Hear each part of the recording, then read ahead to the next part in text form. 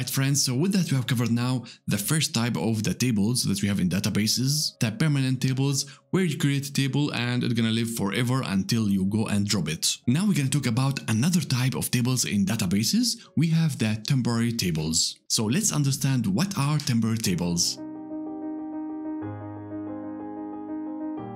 So temporary tables, or sometimes we call them as a shortcut temp tables, they store intermediate results in a temporary storage in the database during a session. And the database automatically drop these tables after the session ends. So let's understand what this means. Now we have learned in the CTAS, we could use a query in order to retrieve data from one table and then it puts the intermediate results in brand new table in the database. So with that we are creating another table based on a query. The same thing for the temporary tables. We have as well a query that goes and retrieves the data from a table and as well the database gonna go and create a new brand table in the database that has the structure and the data from the result of the query. So it is exactly as the CTAS. What is the difference here? Well, it is about the lifetime of the table. Now, the database tables that we have created using create insert or CTAS, those tables gonna stay permanent and they're gonna live in the database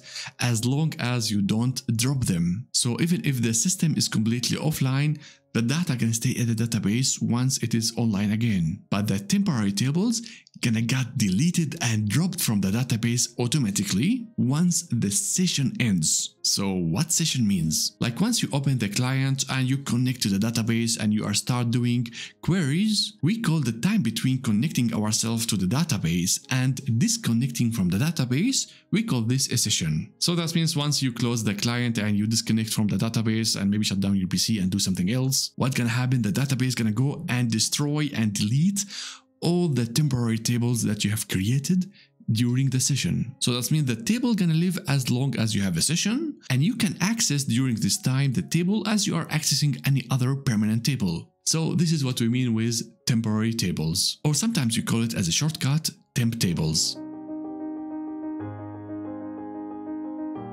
Okay, so now let's check the easiest syntax ever. So for the temporary table, the syntax gonna look like this you're gonna have like a query select from where and as we learned in the CTAS if you go and say into then the table name it's gonna go and create a physical new table. But now if you want it as a temporary table what you're gonna do? You're gonna just put hash before the name of the table. Then SQL gonna understand okay now we are talking about temporary table and the database gonna store it in that temporary storage. So it is very simple.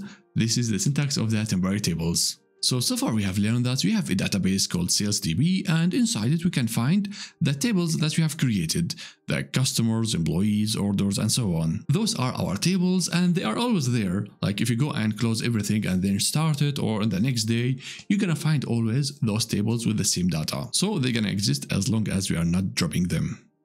Now the question is where do we find the temporary tables? Well, as we learned, if you go over here at the system databases, you will find multiple databases from the SQL Server and normally only the database administrator has an access to this. And one of those databases called TempDB, temporary database. So let's go inside it. Now we can find multiple objects and one of them we can find here the temporary tables. And now of course we don't have anything inside it because we didn't create anything. So let's go and create one. We have already an open session, an active session with the SQL Server. As you can see here we are connected to the database and we can start creating temporal tables. So now what is the plan? I would like now to do few modifications on the table orders, but I will not do it directly at the table orders. I would like to take a copy from the sales DB and create from it a temporary table. So let's go and do that.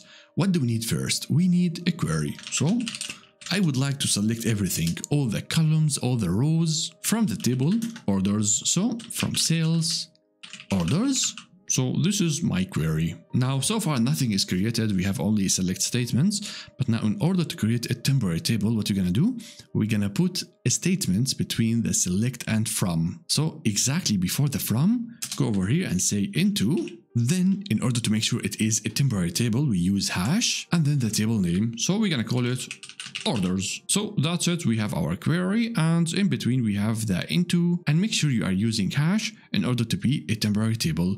So let's go and execute it. And now we can see that 10 rows are affected and we don't have an error. And now of course we cannot see it yet because we have to go and refresh the Object Explorer. So let's go and do that and now let's expand it. And now we can see our temporary tables. As you can see it is at the schema dbo because we haven't defined any schema and this is the default one from the database. So nice. Now we have the table and let's go and check few stuff. So let's go and select the table itself. So select star from and make sure to say hash orders Let's go and select it.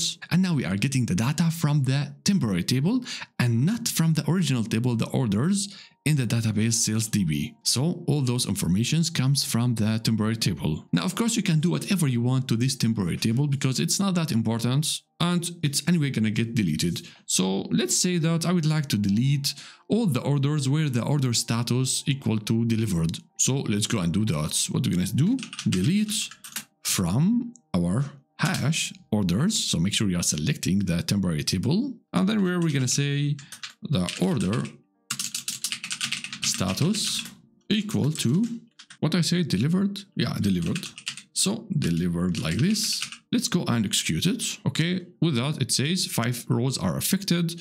Let's go and select it again. So select from hash orders and let's check that. So as you can see now we don't have all orders, we have only the orders where the status equal to shipped. So all delivered orders are removed. And now we can do whatever we want to this copy. We can analyze it, we can modify it, we can go and insert new data. So we can do whatever manipulation we want on this copy. And now if you say, you know what, I like these results and I would like to have it not only during the session, maybe I'm gonna need it for tomorrow or something. So now what we're gonna do, we're gonna do the exact opposite. We're gonna now store the result of the temporary table back to our database so that we don't lose this intermediate result. So in order to do that, we're gonna say into and then make sure to specify the sales dot because we want to select the correct schema. And then let's say it is orders and I'm gonna call it test like this. So let's go and execute it. So it says five rows are affected. Now we have to see those informations in the sales DB. We still don't have this table over here. So right click on the DB and then refresh it.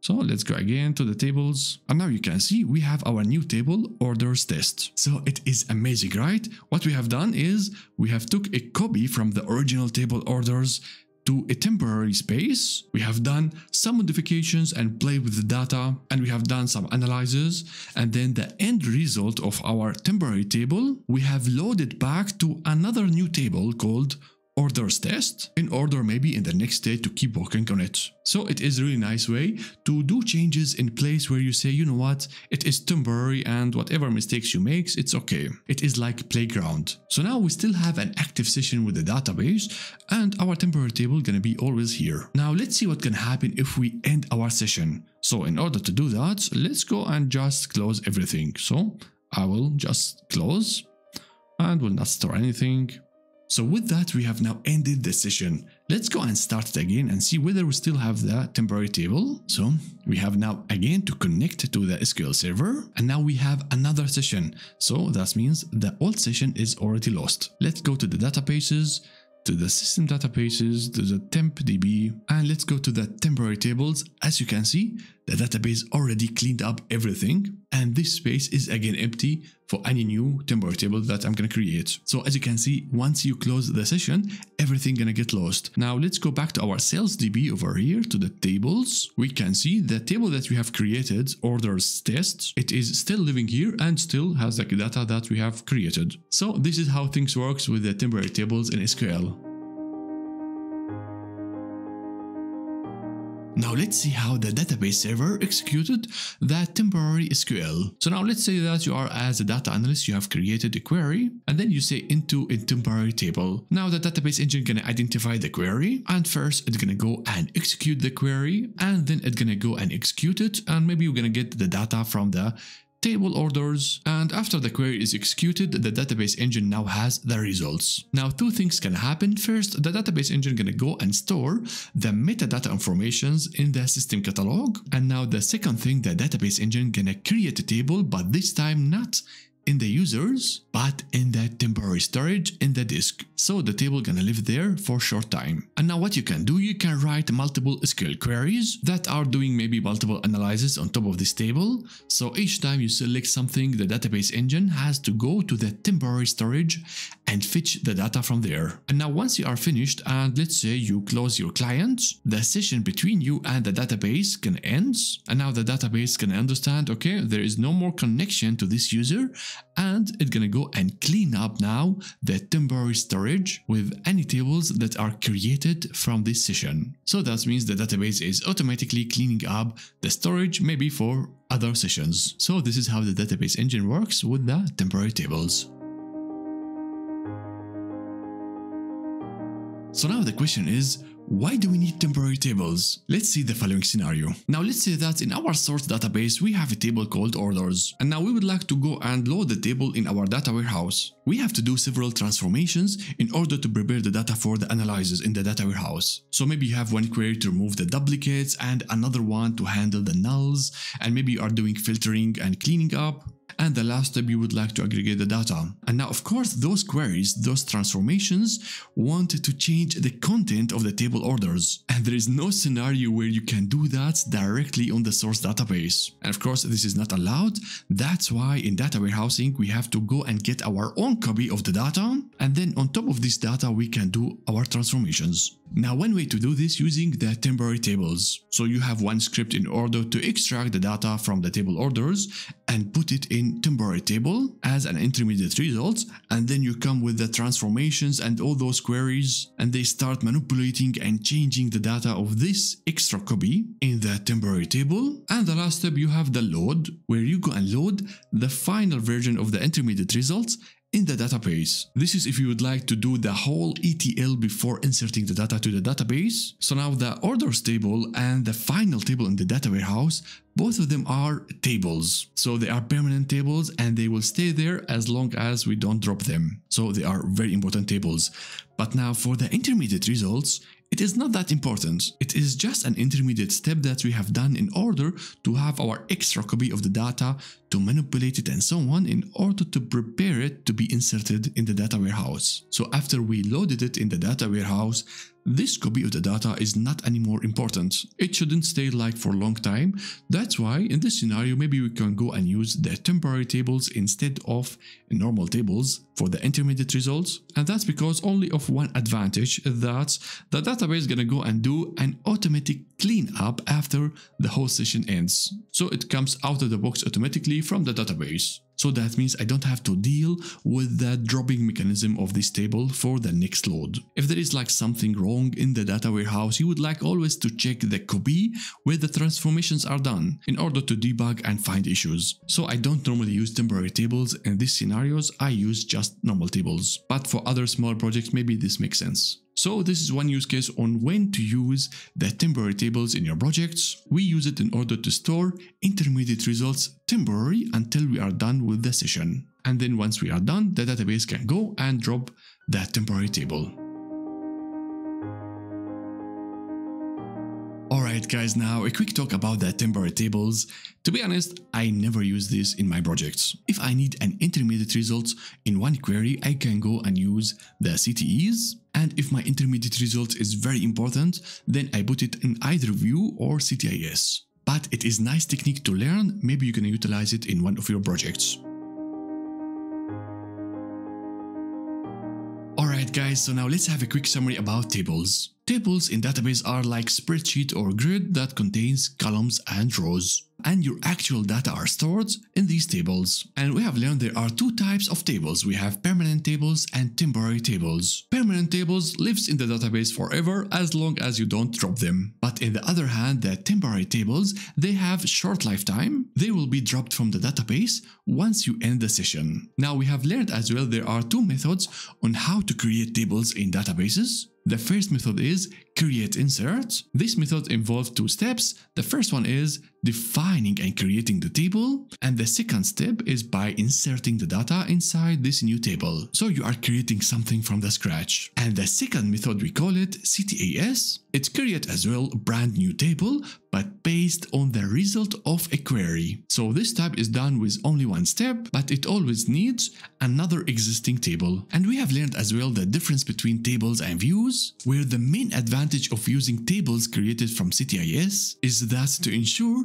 the performance is fast enough at the end of the users or your reporting system. So we use CTAS instead of views if the logic of the view is very complex and takes a lot of time to be executed in the database. And one more nice use case for the CTAS is that we can go and persist a snapshot of the data in order to analyze a bug and data quality issue and to ensure that we have the exact data in order to find a solution for the bug and the issue. Now we have learned as well that we can use temporary tables in order to store intermediate results in a temporary storage and the main advantage of the temporary table is the database automatically drops all the temporary tables when the session ends. And that's because for you, the intermediate results are not that important to live long time. Alright my friends, so with that we have covered everything about the SQL tables and how to use them in SQL projects. And next we're gonna go and recap about the 5 methods and we're gonna compare them side by side. If you like this video and you want me to create more content like this, I'm gonna really appreciate it if you support the channel by subscribing, liking, sharing, commenting. All those stuff gonna help the channel with the YouTube algorithm and as well my content gonna reach the others. So thank you so much for watching and I will see you in the next tutorial. Bye.